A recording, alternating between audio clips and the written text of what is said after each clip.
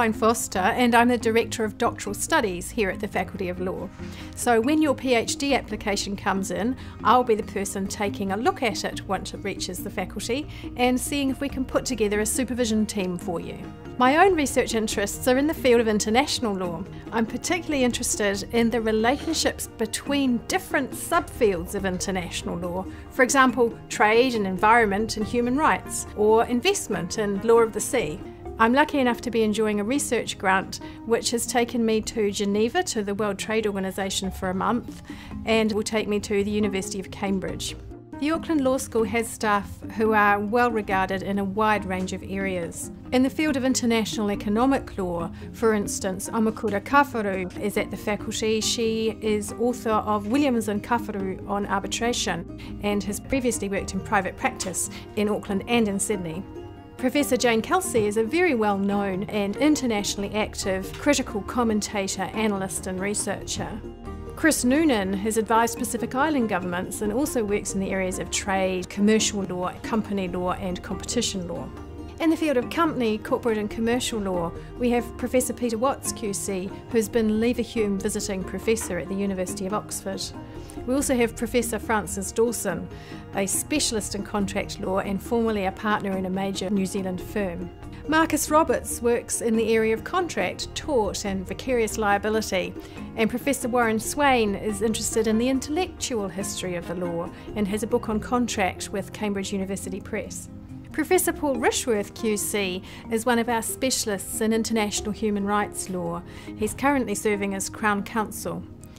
We also have Scott Optican, who is author of the New Zealand Bill of Rights, and Dr. Jane Norton, who works on gender, discrimination, and religious freedom. She holds a PhD from Balliol College in Oxford. Many of our academics have worked in areas important for developing government policy. This includes healthcare, where we have Professor Joanna Manning, who works in healthcare law, accident compensation, and tort. Professor Ron Paterson is former Health and Disability Commissioner in New Zealand, also former Ombudsman and Chair of the Banking Ombudsman Scheme, and he's published a book called The Good Doctor. Administrative law is a really important area of law for the developing modern state.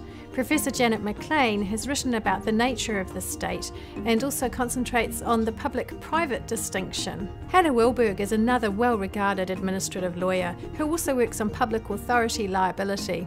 She's recently been a visiting fellow at the University of Cambridge. A good number of our scholars work on issues that have been globally significant and featured in the media.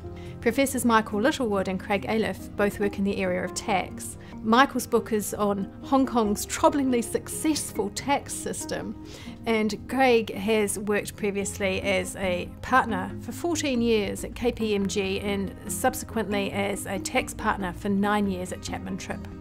Faculty members are seeking to help lead awareness and problem solving in some of the most pressing areas facing the planet today. Professor Klaus Bosselmann is director of the New Zealand Centre for Environmental Law and has written and published over 25 books. David Grinlinton specialises in the areas of renewable energy and natural resource extraction.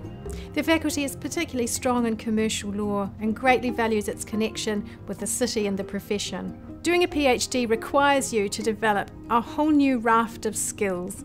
It will challenge you, it will enthuse you, at times it will exasperate you, but at the end, you will come out with something extremely worthwhile and distinctly personal to you.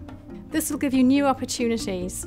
You might wish to specialise in a particular area of the law, or perhaps you'd like to go and work for an international organisation. If you were to decide to do your PhD, at the Auckland Law School. You'd be coming to a community of scholars committed to their work, committed to working to the highest standards and working with you to help you achieve the highest standards. I'd encourage you to explore our doctoral program and begin the process of an online application. We understand that this is a journey and we have people available to answer your inquiries and assist you and help you develop your doctoral proposal.